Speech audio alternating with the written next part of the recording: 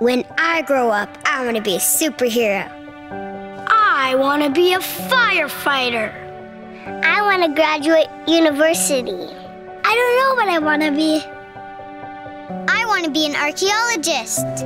I want to be a scientist. Pilot. Coach. Carpenter. I'm going to be a curling champion. Because kids dream big.